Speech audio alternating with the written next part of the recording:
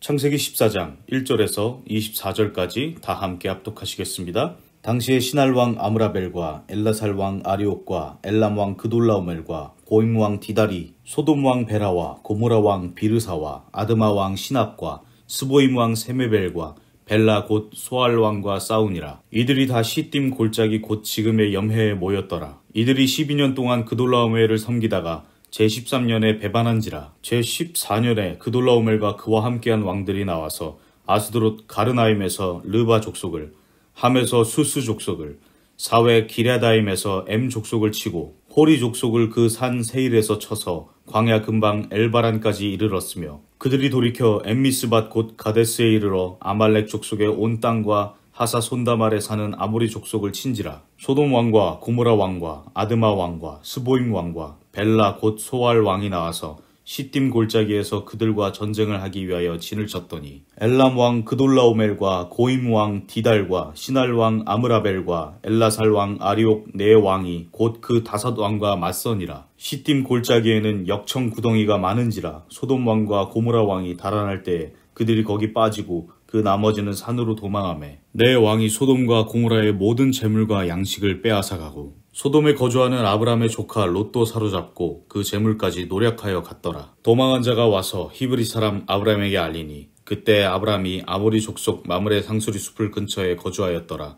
마므레는 에스골의 형제요 또 아넬의 형제라.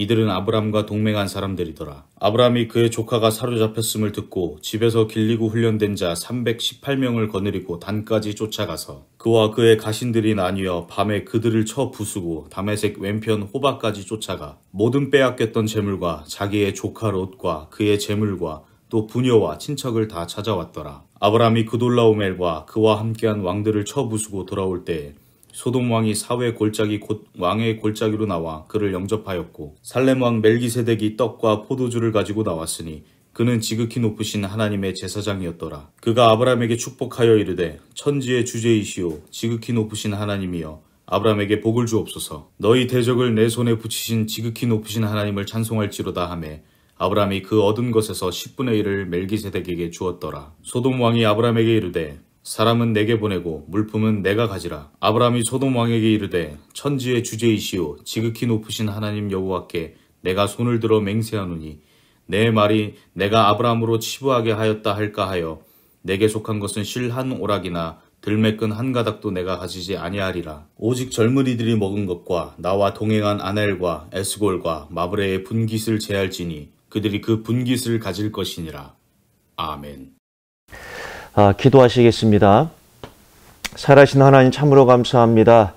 창세기를 통해서 그 속에 숨겨진 구속사의 주인공 그리스도를 볼 수 있도록 또 알 수 있도록 은혜 주신 거 감사합니다. 우리 삶 속에 하나님의 말씀을 읽고 묵상하는 시간들이 회복되게 하여 주시옵시고 이 분주한 세상 속에서 하나님과의 24시 소통의 시간을 반드시 정하고 실천함으로 우리 영이 살려 주시고 그 힘 가지고 나 자신과 싸움에 승리하며 또 가정보고만 이루게 하여 주시고 더 나아가서는 지역보호마에 쓰임받는 귀한 분들을 되게 하여 주옵소서.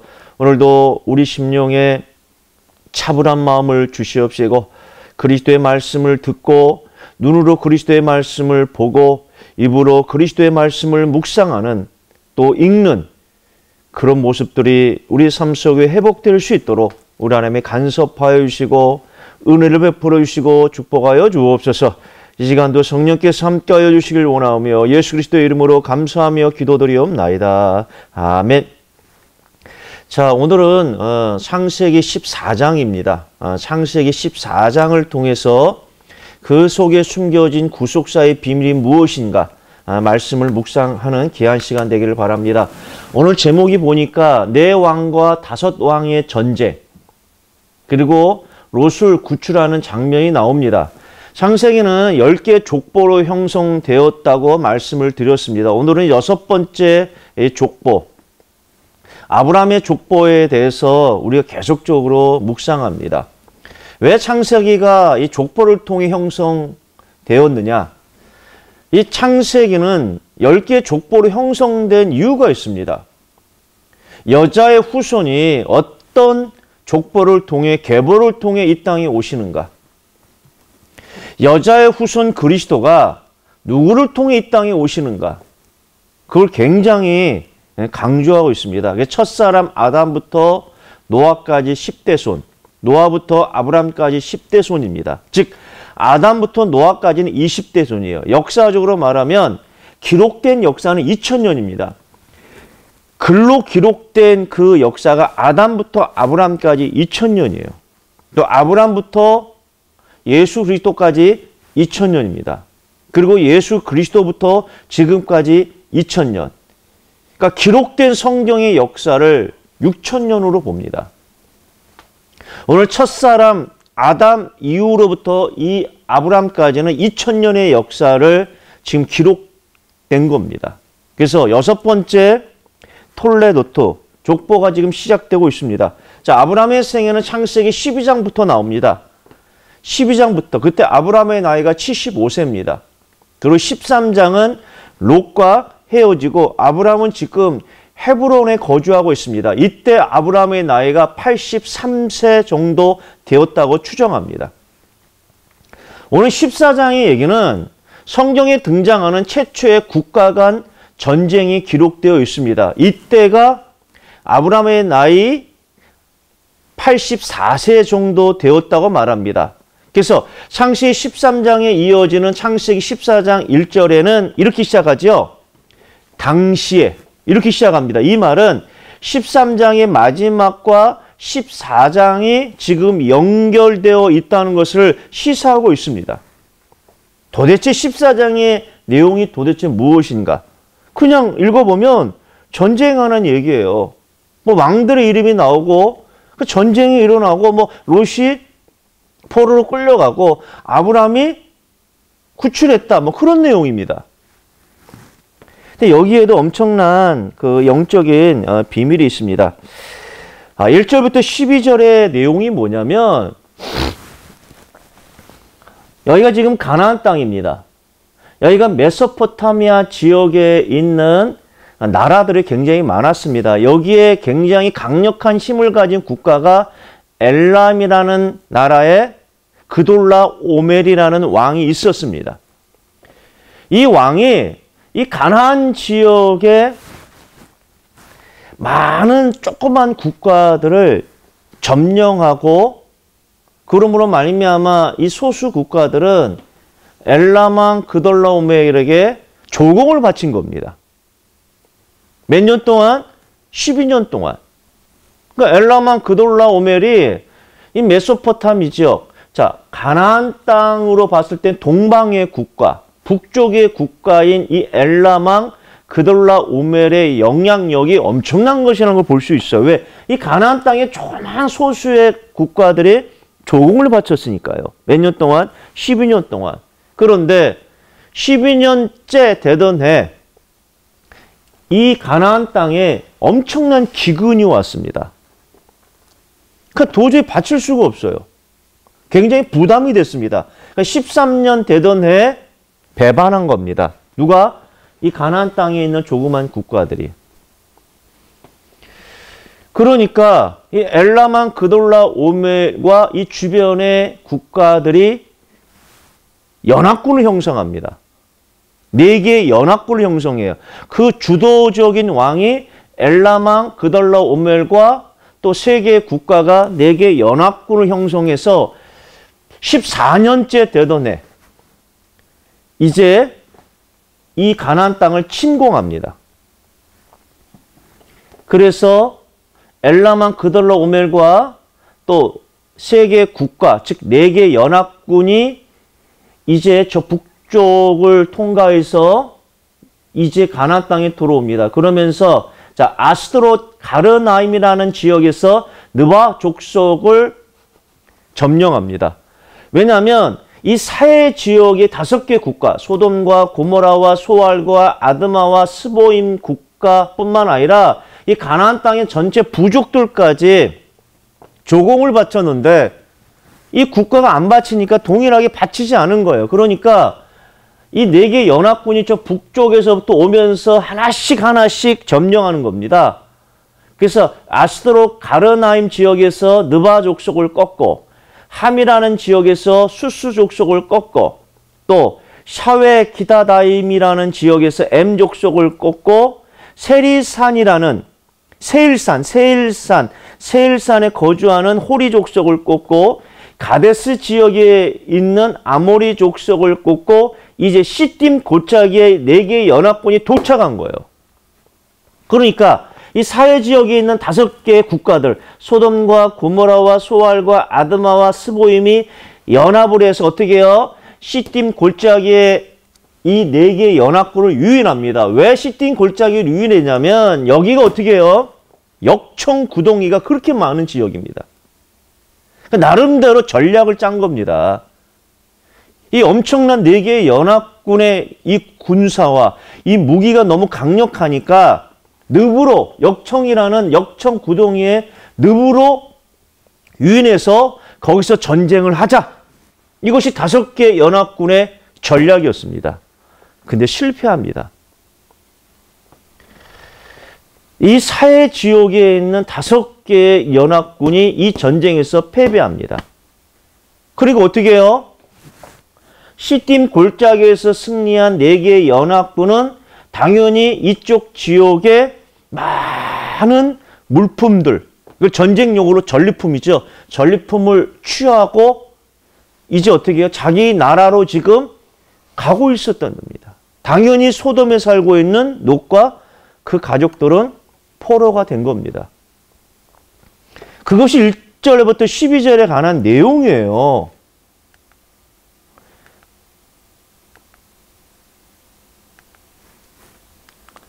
근데 중요한 것이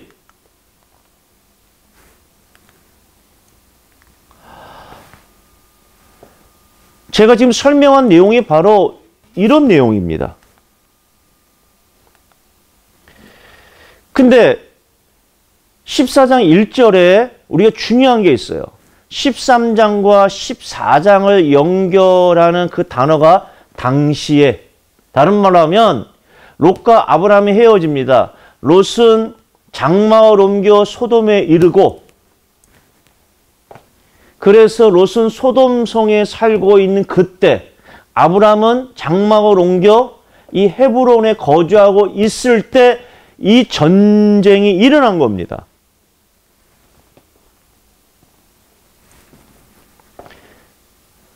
지금 소돔과 그 가족은 지금 연합군의 포로가 돼서 어떤 면에서 인생이 완전히 바벨탑처럼 무너지는 위기 속에 있었던 겁니다. 자, 이때 이제 아브라함이 어떻게 하느냐? 이제 롯과 그 가족을 이제 구원하는 겁니다. 자, 11절 12절을 보니까 내 왕이 소돔과 고모라의 모든 재물과 양식을 빼앗아가고 소돔에 거주하는 아브라함의 조카 롯도 사로잡고 그 재물까지 노력하여 갔더라. 자, 롯은 자기에게 이런 문제가 올 줄 몰랐습니다.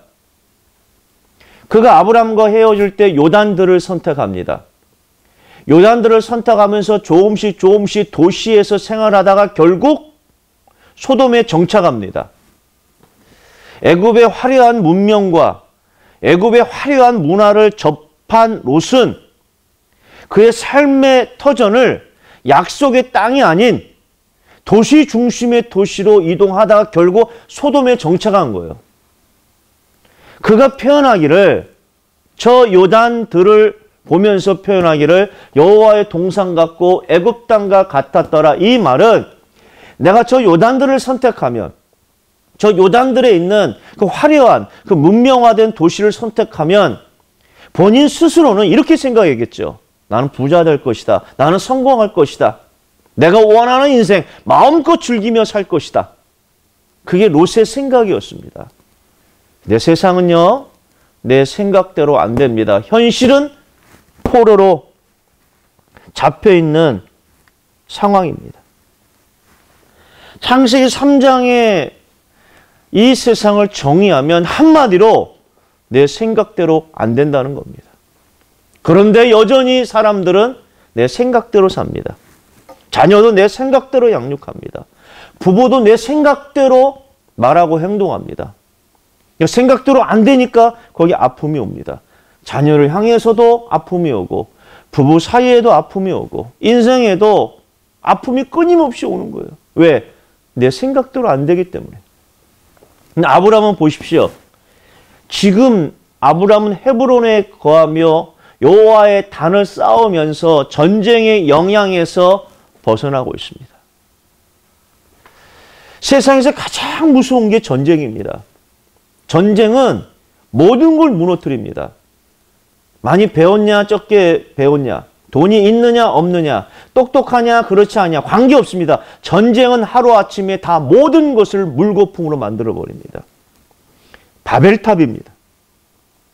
이 전쟁에 휩쓸려 버린 겁니다.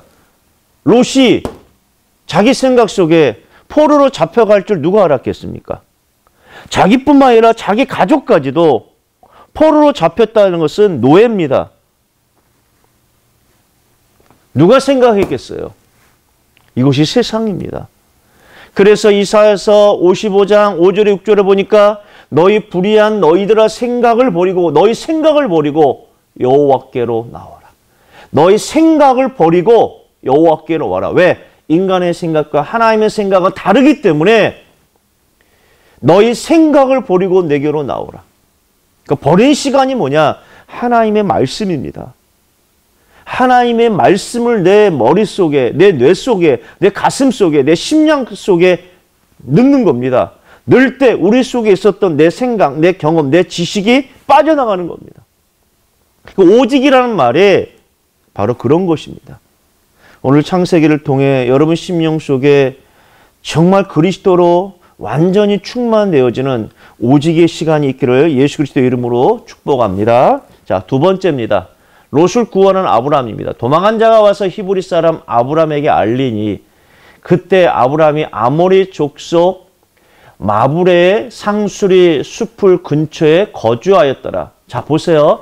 아브로, 아, 아브라함은 헤브론에 있는 아모리 족속의 마브레이시라는 사람의 숲풀에 거주한 겁니다. 마브레는 에스골의 형제였또 아넬의 형제라 이들은 아브라함과 동맹한 사람들이더라. 아브라함이 그의 조카가 사로잡혔음을 듣고 집에서 길리고 훈련된 자 318명을 거느리고 단까지 쫓아가서 그와 그의 가신들이 나누어 밤에 그들을 쳐부수고 담에색 왼편 호박까지 쫓아가 모든 빼앗겼던 재물과 자기의 조카 롯과 그의 재물과 또 부녀와 친척을 다 찾아왔더라. 아브라함의 생애 중에서 유일한 군사적 행동에 대한 언급입니다. 13절에 보니까 도망한 자가 와서 히브리 사람 아브라함에게 알리니 히브리 사람이란 말이 처음으로 등장합니다. 현재 아브라함은 아모리 족속의 땅에 임시 거하고 있었습니다. 히브리라는 말은 뭐냐면 건너오다 그런 뜻입니다. 지금 가나안 족속은 함 함의 계열이 함의 계열의 후손들입니다. 피부 색깔도 다릅니다. 언어도 다릅니다. 이 아브라함은 셈 계열의 셈 계열의 후손이라는 것을 표현하는 거예요. 우리는 함 족속이고 저 아브라함은 저 메소포타미아에서 건너온 셈 계열의 후손이라는 것을 표현하는 방법이 아 히브리 사람이구나. 그 처음으로 히브리 사람이란 말이 등장합니다. 자, 아브라함이 그의 조카가 사로잡혔음을 듣고 어떻게 아브라함이 취합니까? 집에서 길리온 318명을 거느리고 이제 추격합니다. 집에서 길고 훈련된 자라는 것은 아브라함이 소유한 종들 사이에서 태어난 자식들, 그 자식들의 특징은 뭐냐면 주인에 대한 결속력이 굉장히 강했습니다. 아니, 고대 사회에서는 자기 가문과 가족을 지키기 위해서는 자구책이 필요합니다. 그게 뭐냐면 자기 일꾼들을 훈련시키는 겁니다. 그럼에도 불구하고 메소포타미아의 네 개의 연합군을 상대하기에는 318명은 게임이 안 되는 숫자거든요. 이건 도저히 불가능한 일입니다. 뭐 세상에서는 그걸 용기라고 말합니다. 용기 차원에서 이것을 접근하면 안 됩니다. 상식에서 벗어난 무모한 행동을 왜 아브라함이 감행했을까? 이유가 도대체 무엇인가? 지금 아브라함의 나이, 즉 14장 이때 아브라함의 나이가 84세라고 학자들은 얘기합니다. 9년 전, 다른 말하면 그 나이 75세 때 애굽에서 체험한 게 있습니다. 내가 실수했는데, 내가 죽어야 되는데, 내가 노예가 되는데, 하나님은 일방적으로 아브라함과 그 아내 사례를 구원시키고 보호해 주셨다는 것을 아브라함이 체험한 거예요. 그 체험하면서 아브라함의 머릿속에 생각나는 하나님의 음성이 분명히 있었을 겁니다. 그것이 창세기 12장 1절에 3절이에요. 하란에서 주신 메시지. 12장 1절에 보니까 여호와께서 아브라함에게 이르시되 이 땅을 내 자손에게 주리라. 너는 큰 민족을 이룰 것이다. 너는 복이 될지라. 그러면서 중요한 메시지를 합니다. 너를 축복하는 자 내가 축복하고 너를 저주하는 자 내가 저주할 것이다. 이걸 애굽에서 체험한 거예요. 말씀에 대한 확실한 믿음이 아브라함 심령 속에 완전히 각인된 겁니다. 이건 용기가 아니에요. 나를 축복하는 자 하나님이 축복하신다고 하셨다. 나를 저주하는 자 하나님이 나를 그 사람을 저주한다고 하셨다. 그래서 어떻게 합니까? 아브라함이 318명을 대들고 추격합니다. 자, 헤브론에서 318명을 거느리고 191km를 걸어서 단까지 갑니다. 단에서 75km를 걸어서 다메섹에 도착합니다. 다메섹에서 80km 걸어서 호밥시라는 호밥이라는 호밥이라는 곳에서 네 개의 연합군을 발견합니다. 이때 어떻게 할 것인가? 지금 연합군이 어떻게 합니까? 이 호밥에서 지금 진영을 구축하고 쉬고 있었 그때 아브라함이 어떻게 그 네 개의 연합군을 꺾었는가? 자, 성이 이렇게 나옵니다. 그와 그의 가신들이 나누어 밤에 그들을 쳐 부수고 다른 말하면 야간 기습 작전을 시행한 겁니다. 왜냐하면 전략적으로 보면 소수의 군사들이 대군을 꺾기 위해서는 전면전을 하면 이건 상대가 안 됩니다. 네 개의 연합군이라고 했을 때는 그 무기와 군사수가 어마어마할 겁니다. 그럼 318명이 어떻게 대군과 전명전을 하겠습니까? 그 전략상으로는 밤에 기습 작전이에요. 이게 말이 쉽지. 누군 모르겠습니까? 아, 적군은 모르겠냐고요. 연합군은 모르겠습니다. 그 방법을. 그런데 그 전쟁에서 승리했습니다. 이 말은 세상은 군사수를 봅니다. 세상은 무기의 우수성을 봅니다. 그런데 다윗도 그렇고 기도원도 그렇고 아브람도 그렇고 항상 승리했던 전쟁의 시작은 뭐냐면 천지와 만물을 창조하신 하나님이 나와 함께 하느냐 함께 하지 않느냐 거기에 핵심이 있는 겁니다. 왜? 하나님이라는 이 단어가 창세기에 끊임없이 나오는 것이 그 이유가 있습니다.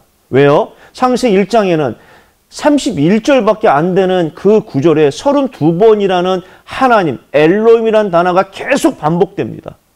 엘로임이라는 단어가 무슨 뜻이라고 했죠? 강하고 능하신 분. 강하고 능하신 분을 체험한 아브라함이 그 믿음대로 도전한 겁니다. 그래서 믿음이란 무엇인가? 하나님의 말씀을 듣고 결단하고 실천한 것, 그것을 믿음이라고 말합니다. 그래서 다윗도 평생 동안 이 전쟁터에서 생활했던 다윗도 자기의 인생사를 돌이켜 보면서 고백하기를 시편 24편 8절에 보니까 전쟁에 능한 여호와시로다.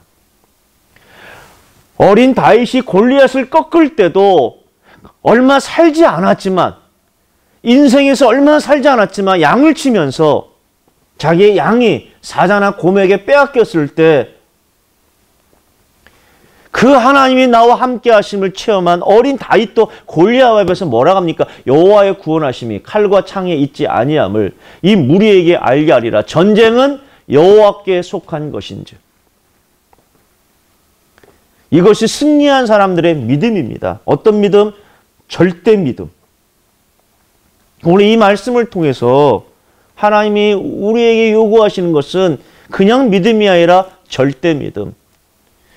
이 말은 하나님이라는 그 단어, 하나님 아버지라고 부르는 그 믿음의 자녀들이 하나님이라는 그 엘로임이라는 그 말 속에는 강하고 능하신 분, 이걸 믿느냐 믿지 않느냐. 그래서 아브라함이 헤브론에서 단까지 담에색에서 호박까지 가서 어떻게 합니까? 모든 빼앗겼던 재물을 되찾습니다. 어떻게 해요? 밤에 그들을 쳐부수고 조카 롯과 그의 재물과 또 부녀와 친척을 다 찾아왔더라. 아브라함은 롯뿐만 아니라 포로로 끌려간 다른 사람들도 구출해 주었습니다. 그 이동거리가 346km입니다. 후에 아브라함이 복귀할 때 소돔과 살레망 멜기세덱이 샤웨 골짜기에서 아브라함을 반깁니다. 왜 반겼겠어요? 빼앗겼던 자기의 백성들도 같이 구원해서 오니까 반긴 거거든요. 맞이하러 간 겁니다.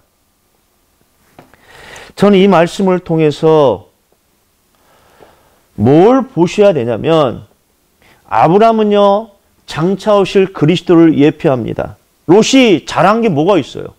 아니 롯이 한 게 뭐가 있습니까? 그의 선행이 있습니까? 그의 인격이 훌륭합니까? 지 마음대로 살았는데 결국 무너져서 노예가 되고 인생을 완전히 포기한 그때 아브람 때문에 구원받고 아브람 때문에 생명을 소유한 겁니다. 그 아브람은 장차 오실 예수 그리스도를 예표합니다. 아브람의 사랑은 일방적입니다. 아브람의 사랑은 불광력적입니다. 그 아브람의 후손으로 그리스도도 동일하게 그 사랑은 일방적 사랑입니다. 우리가 죄인들 쓸 때 하나님이 예수 그리스도로 이 땅에 보내셔서 십자가에 죽이시고 우리를 구원해 주셨거든요. 그 사랑은 일방적입니다. 불강력적인 사랑입니다. 아무 실적이 없어요. 아브라함이 300 거의 50km를 걸어서 그를 구원해 주었습니다. 그리스도의 사랑이 바로 그런 것입니다. 우리가 죄인 됐을 때 이 말은 우리 마음대로 살았습니다. 우리 마음대로 결정하고 우리 마음대로 인생 살았어요. 우리 마음대로 살아 결과가 도대체 무엇입니까? 다 무너졌어요. 제가 대교구 하면서 많은 새 가족을 보면서 다 무너진 사람들이 옵니다. 그분이 무너지지 않았으면 영적 기가 안 열렸을 겁니다. 인간은 다 닫고 삽니다. 자기 생각이라는 틀 속에서 자기 경험이란 틀 속에서 다 닫고 삽니다.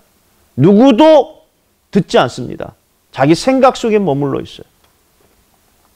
어느 순간 귀가 열립니다. 언제 열립니까? 고난이 올 때, 어려움이 올 때, 내 생각대로 안 되더라. 내 경험대로 안 되더라. 자식도, 가정도, 경제도, 물질도, 건강도 내 마음대로 안 되더라. 그때 귀가 열립니다. 심령이 가난해집니다. 그때 전도자의 말 한마디가 귀에 들리기 시작하는 거예요. 그래서 귀에 들어서 온 사람들이 예원교회 성도들이. 고난이 축복일 수 있죠. 고난이 발판입니다. 고난이 우리를 새롭게 갱신하는 시간표입니다. 그 속에 있을 때 아브라함이 일방적으로 롯을 구원한 것처럼 아브라함의 후손을 그리스도가 우리도 일방적으로 그 영적인 늪, 그 육신의 늪, 저주의 늪, 재앙의 늪, 지옥의 늪에서 우리를 구원해 주신 겁니다. 이걸 우리는 불강력적인 은혜라고 말합니다. 이 은혜가 여러분 삶 속에 끊임없이 반복되기를 예수 그리스도 이름으로 축복합니다. 자, 헤볼에 출발한 이 아브라함이 이 단까지 191km를 걸어갔습니다. 단에서 75km를 걸어서 다메섹에 도착했습니다. 다메섹에서 80km를 걸어서 호밤에 주둔하고 있었던 네 개의 연합고를 꺾고 롯과 그 가족과 또 이 소돔과 고모라와 소알과 아드마 스보임에 있었던 그 사람들을 다 구출하고 또 전쟁에서 승리하기 때문에 많은 전리품을 가지고 이제 호밥에서 내려온 그때 샤웨 골짜기에서 두 왕이 영접합니다. 왜 영접했겠어요? 아니 자기 백성을 구출해주고 오니까 이 왕이 반기로 간 겁니다. 자 17절에 보니까 아브라함이 그돌라 오멜과 그와 함께한 왕들을 쳐 부수고 돌아올 때 소돔 왕이 샤웨 골짜기 곧 왕의 골짜기로 나와 그를 영접하였고 왕 멜기세덱이 떡과 포도주를 가지고 나왔으니 그는 지극히 높으신 하나님의 제사장이었더라. 샤웨 골짜기 곧 왕의 골짜기 예루살렘에서 500m 떨어진 골짜기가 샤웨 골짜기인데 왜 성경은 왕의 골짜기라고 얘기합니까? 소돔 왕이나 살렘 왕이 이곳에서 아브라함과 승리한 군사 일행을 맞이했기 때문에 왕이 맞이했기 때문에 왕의 골짜기라고도 불립니다. 자, 두 왕이 아브라함을 샤웨 골짜기 영접하는데 그 첫 번째 왕이 샬렘 왕 멜기세데. 이 샬렘 왕이 히브리어로 평강. 그 히브리 사람들은 샬롬, 샬롬 이렇게 얘기하지 않습니까? 이 살렘 이란 말은 히브리어로 평강이라는 뜻이고 원래 예루살렘의 옛날 지명이 샬렘이었어요.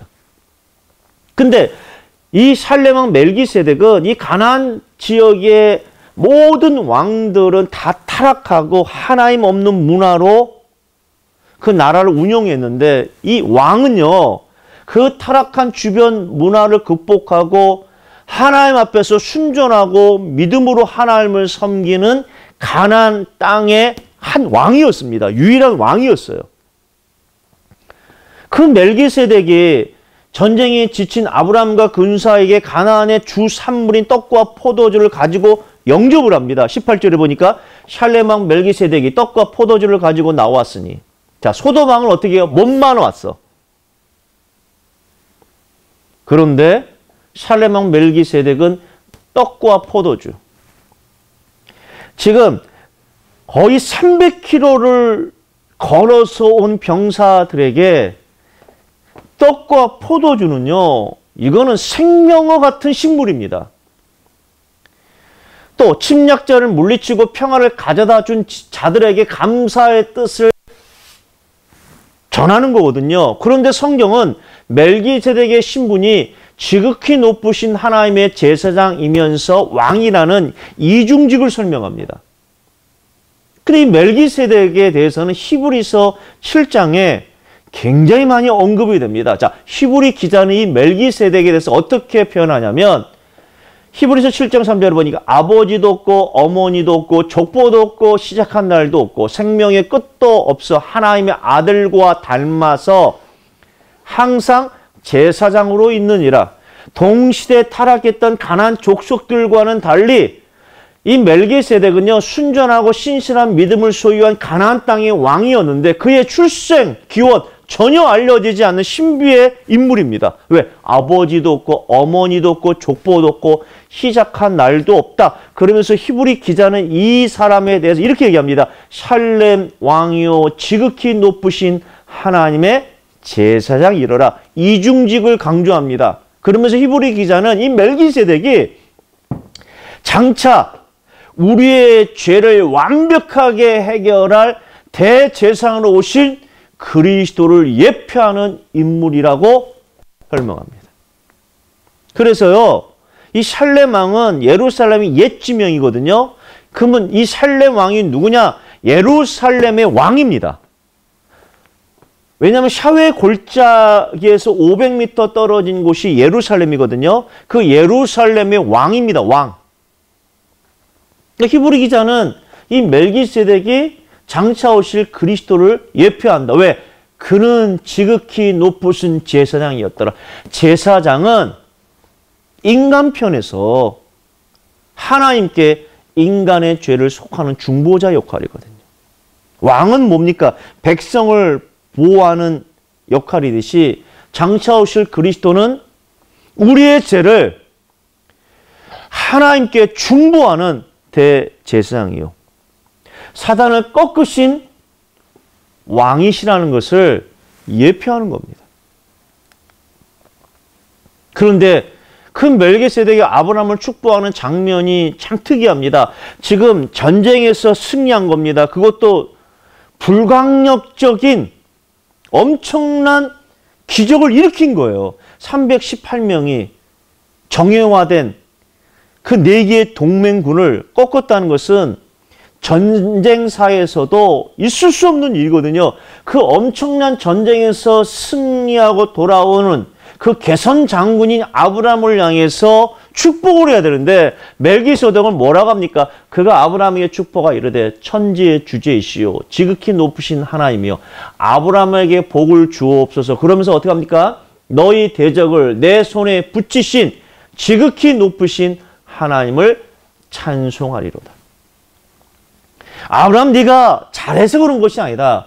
어떻게 318명을 가지고 네개 연합군을 꺾을 수 있느냐? 그것은 그 대적을 하나님이 너에게 붙이신 거이다. 승리의 주체가 누구냐? 하나님이라는 것을 지금 멜기세덱은 설명하고 있어요. 그래서 모든 영광을 하나님께 돌리고 있습니다. 그러면서 멜기세덱은 아브라함에게 떡과 포도주를 제공합니다.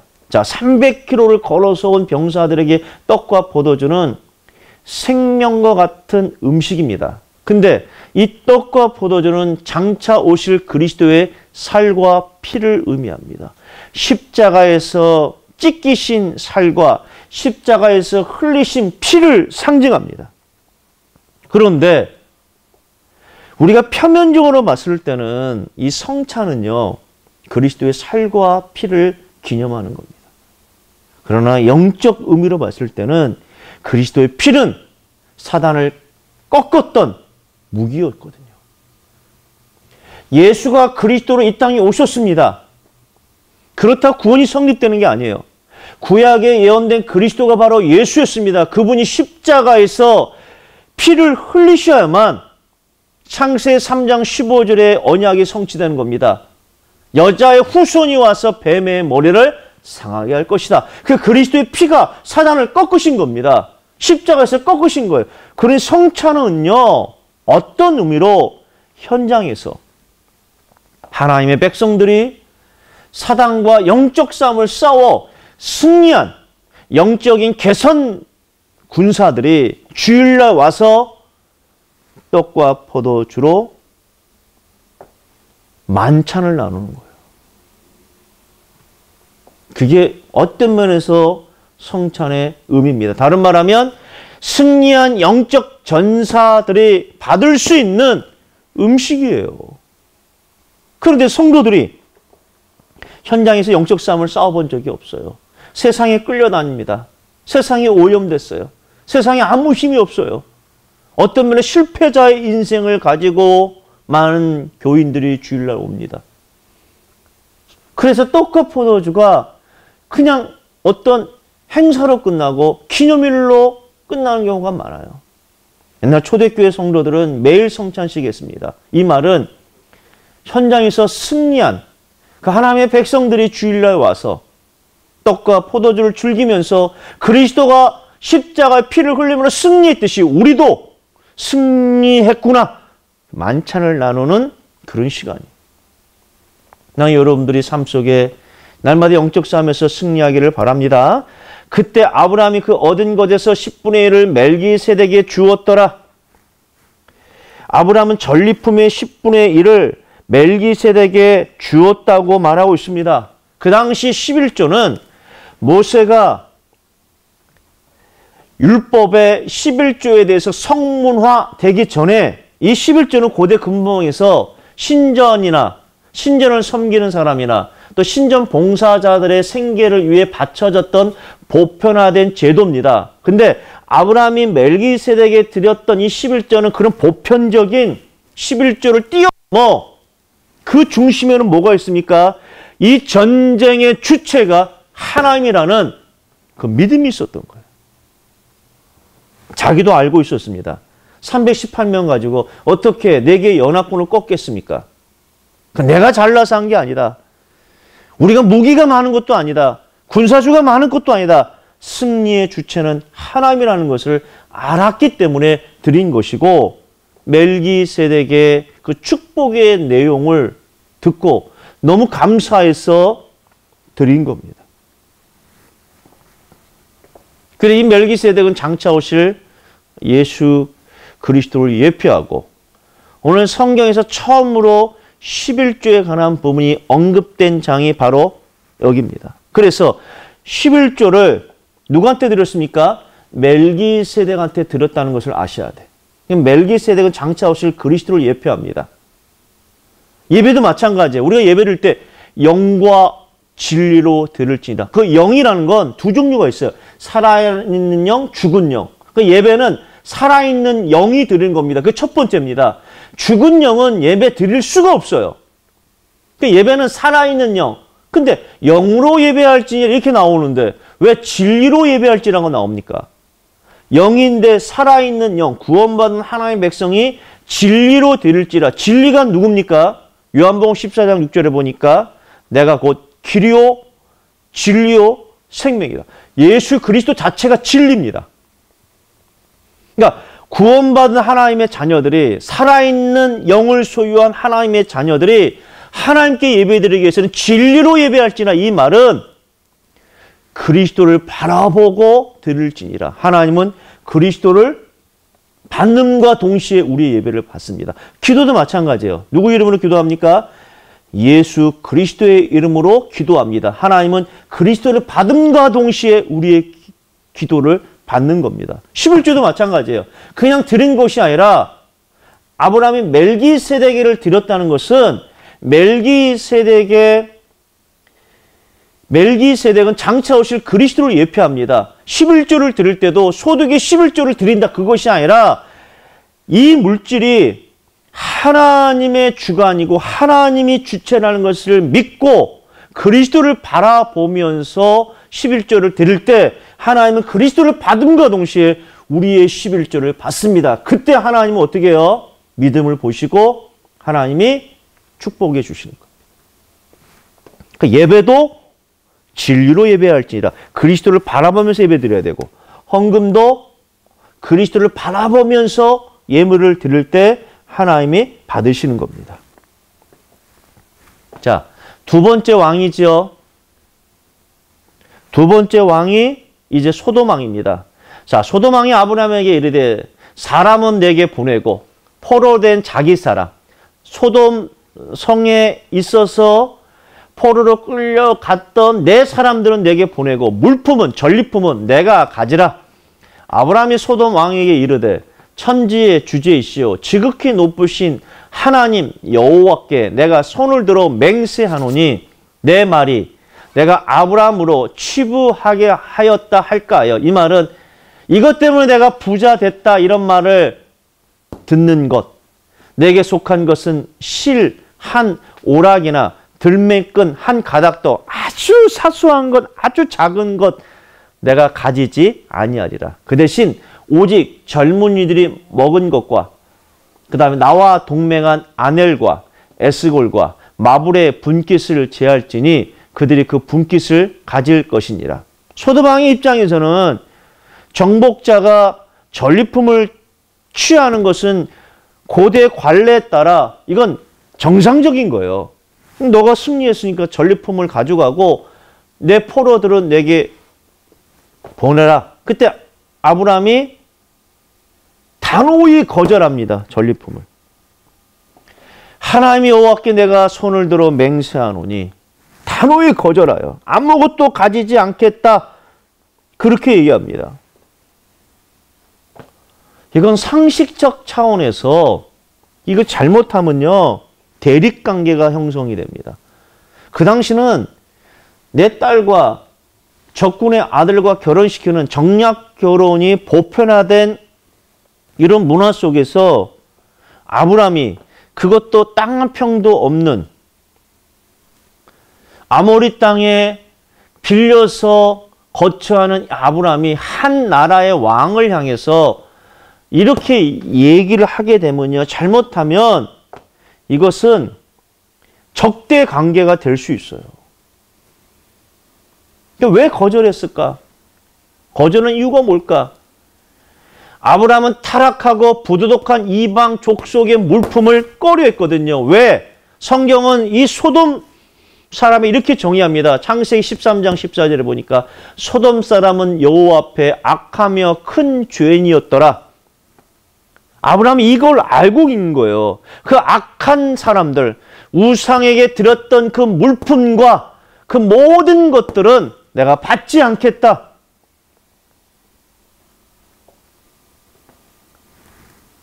이게 아브라함의 믿음이에요. 그런데 롯은 전혀 다르거든요. 이 소돔의 외적 부유함에 매료되어 그쪽으로 완전히 삶을 이주했습니다. 아브람과 롯을 비교하면서 자, 우리의 삶이 어디에 소속되었는가? 우리의 삶이 어떤 방향으로 흘러가고 있는가? 이 땅을 살면서 어떤 세계관을 가지고 사는가? 나는 하나도 가지지 않겠다. 그럼 이렇게 얘기합니다. 오직 젊은이들이 먹은 것과 나와 동맹한 아넬과 에스골과 마불의 분깃을 제할지니 그들이 그 분깃을 가질 것이니라. 우린 여기서요. 아브라함의 성품을 알 수가 있습니다. 아브라함의 삶이 얼마나 영적 영향력을 입혔는지를 알 수가 있어요. 그는 아무리 족속의 땅에서 거처합니다. 그러면서 그곳에 여러 부족들 아넬과 에스골과 마브렛이라는 사람과 동맹을 맺습니다.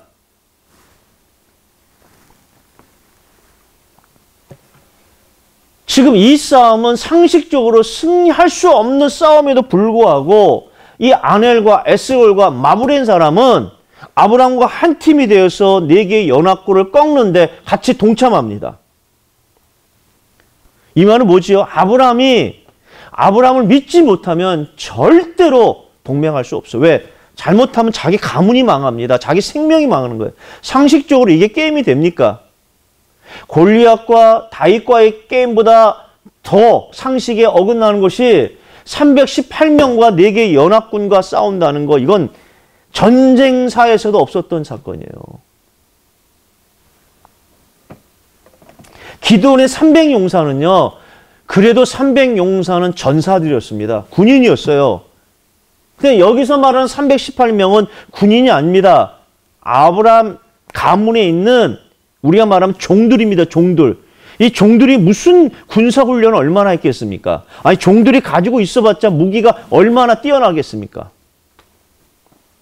그걸 아는 사람들이 아브람과 동맹해서 자기 생명을 전쟁터에 바친다. 상식이 어긋나는 겁니다. 상식에 어긋날 정도로 아브라함이 주변에 미친 영향력이 대단한 거예요. 이게 전도자의 삶입니다. 이게 복음 가진 삶이 상이에요. 복음이면 다 됐다 고백해놓고 희생하지 않습니다. 헌신하지 않습니다. 가족과의 분쟁이 끊이지 않습니다. 이기적입니다. 왜 여러분들 관계가 안 됩니까? 이기적이라서 그래요. 희생 중심의 사고방식이 아니기 때문에 분쟁과 다툼이 일어날 수밖에 없습니다. 성도와 제자의 차이점은 바로 그 싸움이거든요. 똑같이 복음은 아는데 누가 영적 영향력을 입히는가, 누가 칭찬받는가, 그건 희생 중심의 사고를 가진 사람이에요. 내가 하기 싫은 거는 안 합니다. 사람이 싫으면 그 싫은 거예요. 사람이 좋으면 좋은 겁니다. 그런 사고방식 가지고는요, 영향력을 끼치지 못합니다. 항상 영향력을 끼치는 사람들은 희생 중심이에요. 그 성도와 제자의 차이점은 바로 그 싸움입니다. 성도는 자기 중심이지만 제자는 희생 중심이에요. 내가 복음을 위해 어떻게 희생할까? 내가 싫은데도 내 체질과 안 맞는데도 내 코드와 안 맞는데도 복음이라면 교회 유익이라면 내가 희생해야지. 내가 동참해야지. 내가 원리스를 이뤄야지. 그 사람을 통하면 역사하시는 거예요. 아브라함이 얼마나 영적 영향력이 있었으면 주변의 사람들의 동맹에서 상식적으로 맞지 않는 정쟁터에서 같이 동참합니까? 그들에게는 전리품을 나눠줘라. 나는 아무것도 가지지 않겠지만 나와 동참했던 동맹에서 전쟁터에서 같이 참여했던 그들에게는 전리품을 나누어 줘라. 그러니까 아브라함이 얼마나 영향력을 끼쳤고 얼마나 주변 사람들에게 존경을 받았으면 생명을 바쳐 전쟁터에 같이 동참합니까? 이것이 전도자의 삶이에요.